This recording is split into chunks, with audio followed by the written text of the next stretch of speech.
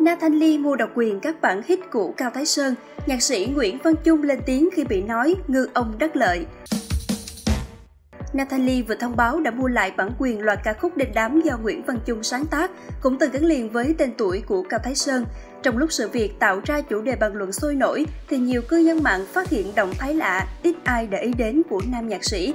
Từ đây, drama của Natalie với Cao Thái Sơn lại có thêm nhiều chuyện để dân tình rôm rã.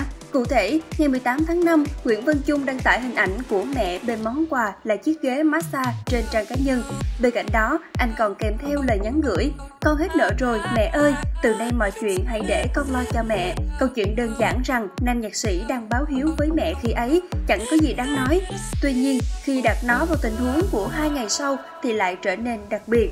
Liên kết bài đăng của Nguyễn Văn Chung và Nathan Lee, cư dân mạng cho rằng cuộc chuyển nhượng các ca khúc đã diễn ra từ trước khi giọng ca không quan tâm thông báo vào ngày 20 tháng 5. À, mà nhân tiện thông báo luôn, mình đã mua độc quyền những hit của nhạc sĩ Nguyễn Văn Chung, Con đường mưa, Pha lê tím, Tình yêu trở lại, Cầu vòng sau mưa.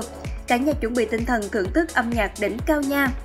Rất có thể nhạc sĩ đã kiếm được khoản tiền đủ để trả nợ từ việc bán bản quyền nhạc. Chi tiết đặc biệt được phát hiện khiến nhiều người cảm thấy thú vị. Đòn trả đũa cao tay của dân chơi hệ nhiều tiền là Nathan Lee với Cao Thái Sơn khiến dân tình phải mắt tròn mắt dẹt. Nhiều người cho rằng Nguyễn Văn Chung trong tình huống đặc biệt này lại ngư ông đắc lợi. Để tránh sự việc đi quá xa, phía nhạc sĩ Nguyễn Văn Chung cũng đã lên tiếng nói rõ về sự việc. Cụ thể, nam nhạc sĩ trả lời với kênh 14 rằng việc các hit quốc dân của Cao Thái Sơn được Nathan Lee mua là sự thật và đây cũng là chuyện bình thường trong giới nhạc sĩ. Thêm nữa, thời hạn mua độc quyền của Cao Thái Sơn đối với những ca khúc này đã hết nên thuận mua vừa bán.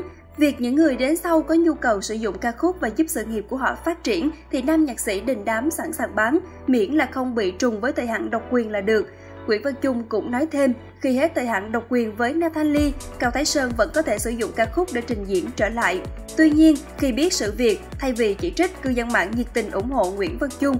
Đối với một nhạc sĩ, tài sản trí tuệ được trả giá xứng đáng là điều rất đáng mừng. Dân tình còn vui vẻ đoán xem Nguyễn Văn Chung đã bỏ túi bao nhiêu từ thương vụ khổng lồ này.